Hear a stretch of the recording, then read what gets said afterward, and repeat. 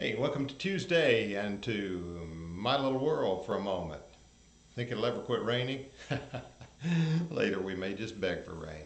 I'm glad you're with me today. It's time to share a few thoughts together. As I said, come on in, my little world. Spend a moment with me and let's think together. It's been about 40 years or so now, but we had just moved to town. My wife and I and our young son had moved into town. We hadn't lived there hardly any time at all, knew very, very few people in town.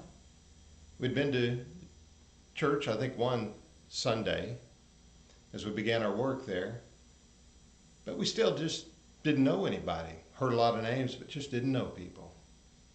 Well, one day we were away from home for something, maybe gone to the store, grocery store, who knows what. Anyway, as we came back home late that afternoon, we noticed our storm door on our house was pushed part way open. seemed kind of odd. But as we went to the door, there was a paper sack inside between the two doors. Opened it up, looked into the sack, and there were tomatoes, squash, okra, a few other things. I don't remember if there's any okra. I said that. Anyway, there were several vegetables inside of it. It was obvious that someone had left us a sack of vegetables. Looked great to me. Because when you think about it, we had we were a very young family, had just moved. We'd made a down payment on a house. We didn't have any money, hardly any to spend at all, just getting started in a way uh, in a new place and just kind of tapped out. And it was kind of nice to find some food there available to us. But as we looked at the sack and looked inside the sack and looked around, there was nobody there, of course, and nothing written on the sack. We had no idea where it came from. Ask a neighbor or two, they hadn't noticed anything. Miss Holliday next door, she didn't see the people come and leave it. Didn't know where it came from. So we just accepted the gift and we went on about our business.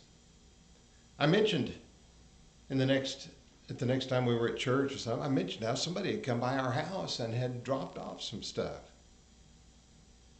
After a little examination, a little deduction, a little detective work, and so forth, we found out. A fellow by the name of Vern and his wife had dropped it off. Vern was a nice fella. His wife was a sweet lady. They didn't have much lived in a very humble house.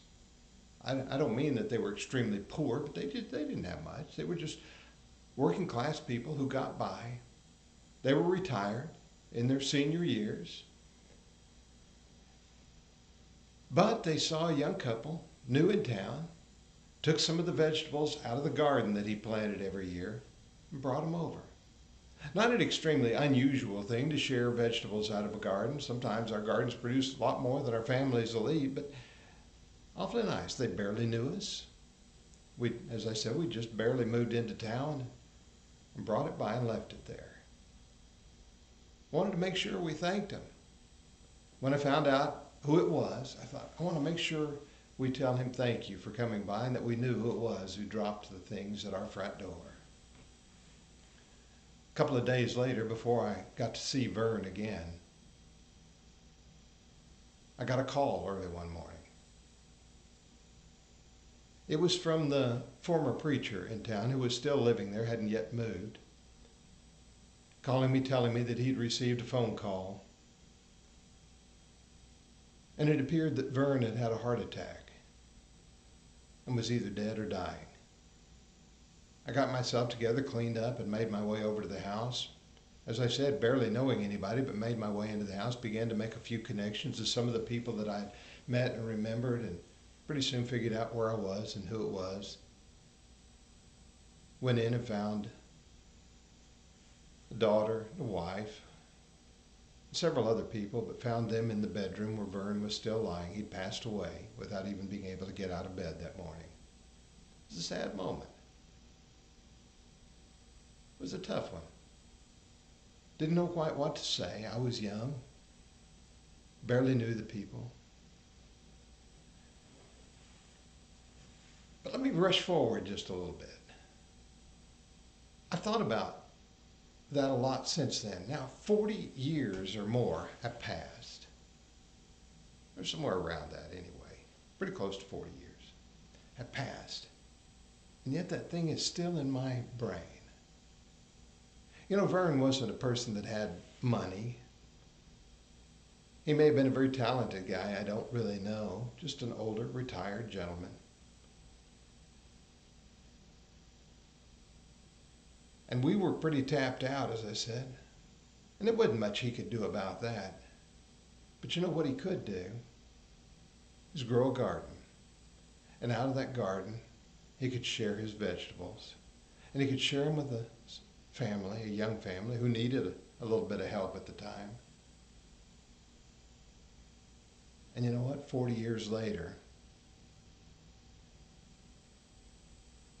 we still remember. Yeah, he couldn't take care of all our needs in a lot of ways, but he could make a mark with what he had. I think about Peter and John in the third chapter of Acts, making their way to the temple. These fishermen who had followed Jesus and now were dedicated to the cause, the cause of Jesus, the cause of the church, the cause of Christ, were making their way together to go and pray. And as they made their way up to the old Jewish temple, and there they were going to pray with a lot of other people probably, they found that lame man. In the course of events, they speak to the lame man, looking at him and his condition. And Peter's response to the man is one that ought to ring, ring true to all of us. For in verse 6 of Acts 3, it says, Silver and gold I do not have, but what I do have, I give you. Course, what he gave that man that day was, through the wonders of God, the ability to walk again. And that's a marvelous gift, far more than silver and gold, I know. But when I think about it, it's what we have to give. Sometimes we don't do things because we say we don't have enough or of something that'll make that big a difference. Say, oh, if I was just a millionaire, a billionaire, then I would do this or do that. If I just had money, I would do this or that. When the reality is, if we would just do what we can do. I know I've talked about this before, and you know it as well as I do. But I just thought it came to mind today as I th- thought about Vern and his sweet wife. As they came to the house of a young preacher and his wife and son, and anonymously left a token gift. It didn't cost them much, but it was a generous heart and a generous spirit. And so many years later, nearly four decades later, I still remember. You see, that's pretty important. But what I have, I give. What you have is an opportunity to give.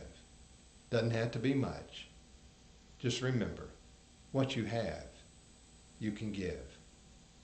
Hey, thanks for being with me today. Looking forward to so many great things in the days ahead.